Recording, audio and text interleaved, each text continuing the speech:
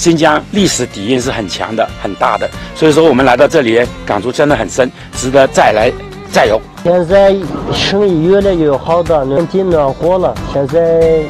比三月开始客人内地来的客人更多。